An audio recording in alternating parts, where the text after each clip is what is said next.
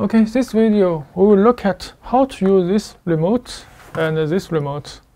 And this is a RF remote uh, for 33 megahertz, and this is IR remote. You can see this is IR, and this is RF antenna. And this is a TV remote. So you can see I can uh, control this board. This is my IR remote. Uh, four, three, two, one, and when I control out, on, and off. Also, I can use this. Uh, this is IR. You can see I can turn on relay 1, turn off relay 1. I define uh, this key 3 is turn off, turn on relay 2, and 4 is turn off, and turn on, turn off. So uh, this have uh, two different ways to configure the output. And in this video, I will show you how to do this.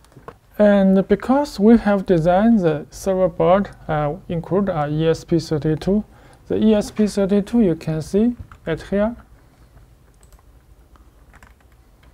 Uh, you can see there are ESP32. That is work for decode. This is RF, RF receive module, and this is IR receive. So when I press this key, uh, the signal will received by this receive module. And this ESP32 will decode and send the message uh, to this CPU. That is the KinCony ARM CPU.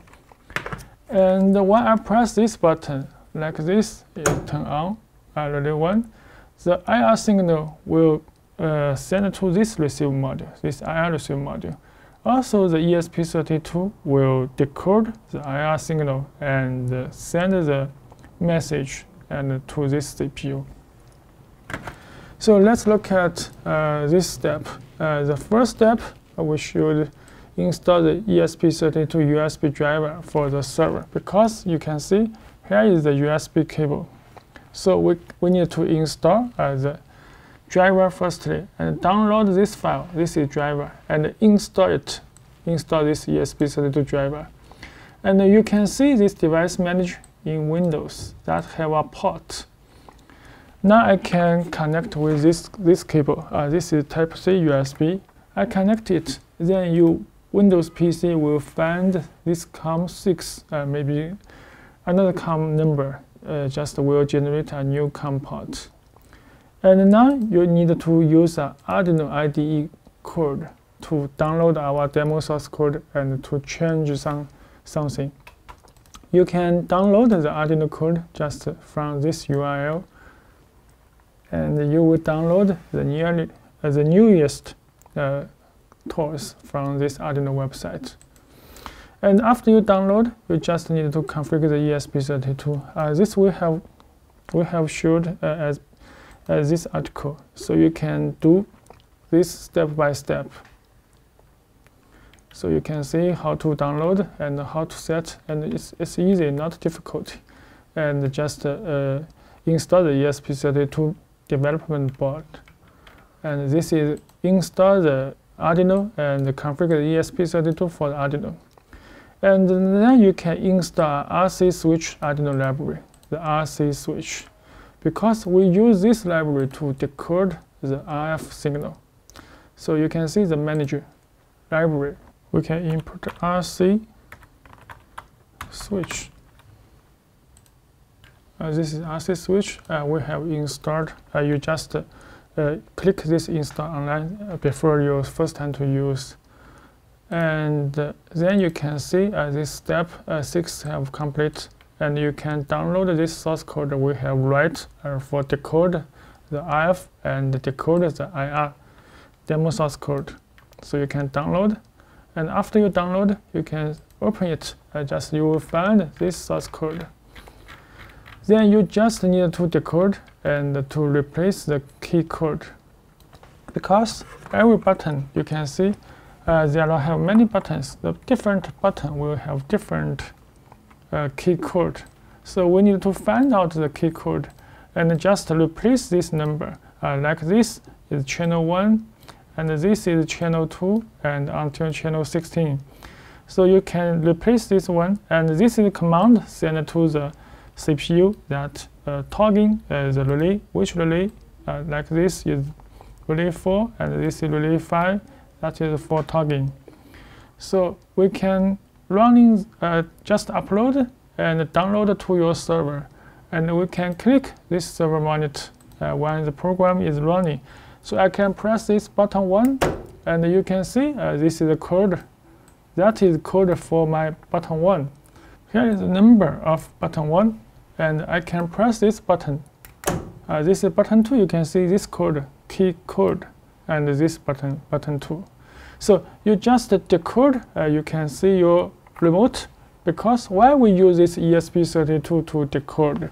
You can use any remote. So you can just find out a 433 MHz remote and press the key and you will see the key code and just replace at this section.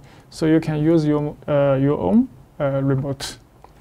And such as we have used this Sonoff because we have used this uh, channel 1 but this time I want to use this Sonoff uh, remote. Uh, this you can see the button. I press, uh, but how to in, uh, press this button to control relay 1? You can see I can clear and press this button 1. You can see uh, this is the code. Uh, this code for Sonoff and the button 1. So I just need to copy this code and paste, replace this code, just paste, and you can down upload the firmware to the board. Then you will find uh, this button will be used uh, to control the real one. Just wait for a moment. Okay, let's test it. You can see I can uh, press this button, and then the relay one will be on. And this is the switch panel, off, on, and off. Also, you will see this mobile phone when I press on and off, the state will update. And this time, now you can press this button. Uh, this will not work. So the key code have replaced this one and instead of this old one. So you can choose any remote, uh, just detect detect the key code firstly, and then you just set on your Arduino IDE co code. So this section is for RF remote, uh, for this type of remote and this type of remote. And, and you can see here is the IR. That is IR. Also is as same as this function. Just replace the command.